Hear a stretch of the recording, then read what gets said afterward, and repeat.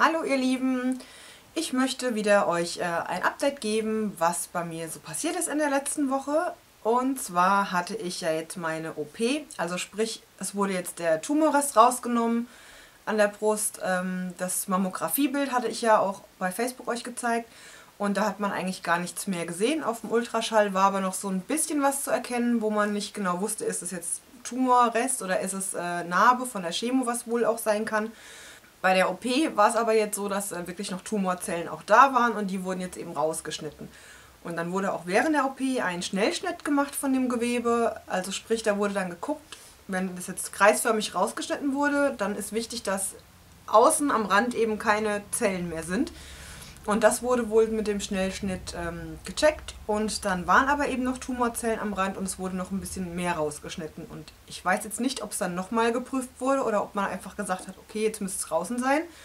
Ähm, und das ganze Gewebe wird dann in die Pathologie geschickt zum Untersuchen und da warte ich jetzt noch aufs Ergebnis. Also da wollte ich eigentlich letzte Woche oder vor ein paar Tagen jetzt schon mit dem Krankenhaus telefonieren, aber ähm, irgendwie haben wir uns noch nicht erwischt und ich will jetzt morgen mal anrufen und fragen, ähm, ob alles frei ist. Und ich hoffe und drücke da echt die Daumen, dass das alles äh, gut war, denn sonst müsste nochmal geschnitten werden.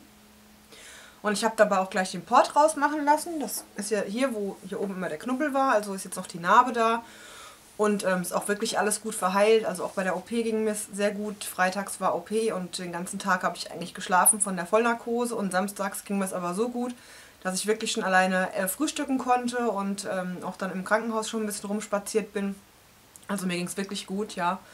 Und ähm, bei der Brust ist es so, ich versuche euch mal das zu zeigen, dass quasi hier unterhalb, also direkt unterhalb quasi von der Brust wurde ein Schnitt gemacht, der zwar recht groß ist, also der einmal so komplett ähm, entlang geht. Aber man sieht es eigentlich gar nicht. Also wenn man von vorne guckt, dann sieht man den Schnitt gar nicht, weil dann ja die Brust so ein bisschen einfach runterhängt. Also ne, wie ihr euch das also vorstellen könnt. Und ähm, dann sieht man das eigentlich gar nicht. Und jetzt muss ich mal abwarten und ähm, muss jetzt einfach die ganze Zeit noch so ein Sport-BH tragen, dass es einfach alles gut gestützt ist und nachher nicht irgendwie dann so runterhängt. Und ähm, ja, also von daher sieht es jetzt schon im Spiegel einfach super aus und da bin ich ganz, ganz zufrieden und wie gesagt hoffe, dass nichts mehr geschnitten werden muss. Und dann hatte ich eben noch ein paar Tage so eine Drainage drin, wie das ja nach der OP immer ist.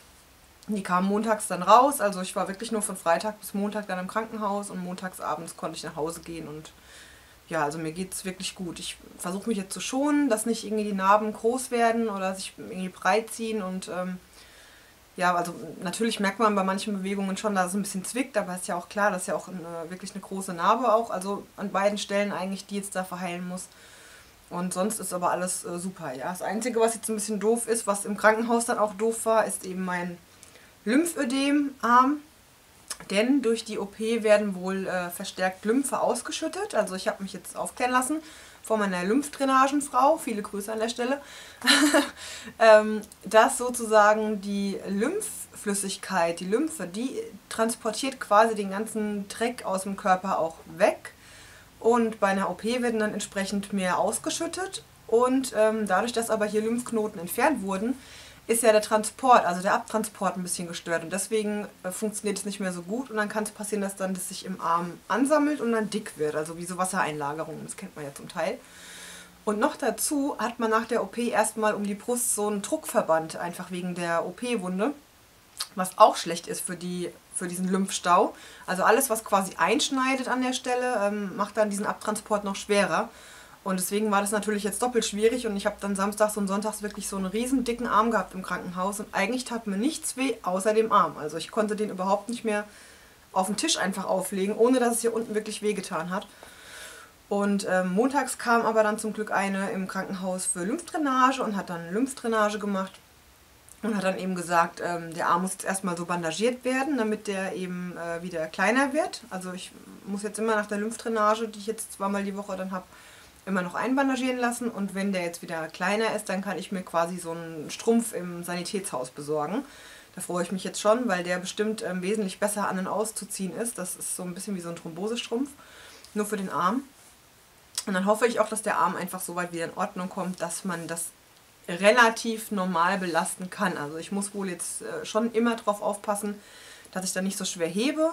ähm, dass ich keine Taschen hier drüber hänge, was einschneiden könnte oder dass auch BHs nicht so eng sitzen, dass da irgendwas einschneidet. Also grundsätzlich sollte hier eigentlich überhaupt hier und hier an der Seite ähm, nirgendwo mehr was einschneiden oder fest runterdrücken, ähm, weil einfach das sonst für diesen Lymphtransport schlecht ist. Genau, das ist so das Einzige, was jetzt ein bisschen doof eigentlich ist, aber das äh, ist ja auch händelbar, sage ich mal. Das Einzige ist beim Schmink Schminken aktuell, dann merke ich, aber ich glaube, das ist eher durch diesen Verband, weil der dann hier so am, am Ellbogen schlecht, also einfach eng ist und es drückt, dass das Schminken noch nicht so ganz gut funktioniert. Und ähm, ja, also ansonsten äh, geht es mir aber sehr, sehr gut und alles gut und ich bin froh, dass wieder ein Schritt geschafft ist und äh, hoffe, ich erreiche jetzt morgen jemanden hier im Krankenhaus und weiß dann, ob äh, der pathologische Befund gut war und kann dann hoffentlich auch mit dem äh, Strahlenteam sprechen, denn das steht wohl als nächstes an, die Bestrahlung, dass ich da hin kann und das eben klären kann, wann geht's los und hoffe einfach, dass dann Anfang Juni das wirklich losgehen kann und dann noch irgendwie so 30, 35 Bestrahlungen sind und dann ist es geschafft. Also dann ähm, ja, haben wir es quasi geschafft. ja, genau, das wollte ich euch jetzt nur erzählen. Und dann, ähm, ja, ansonsten freue ich mich nach wie vor, wenn ihr hier äh, nette Kommentare schreibt. Und ihr dürft natürlich auch hier meinen YouTube-Kanal abonnieren. Das äh, kostet ja alles nichts. Oder auf meiner Webseite schauen und äh, bei Facebook schauen und äh, bei Instagram und keine Ahnung, wo man überall, also wo ich überall die Sachen ja immer update. Ähm, das verlinke ich alles hier unten in der Infobox und da könnt ihr mich dann finden und wenn es euch gefällt, dann hier auch Daumen hoch klicken und so weiter. Ihr kennt es ja alles schon. Und ja, dann freue ich mich bis zum nächsten Mal und sag mal Tschüss.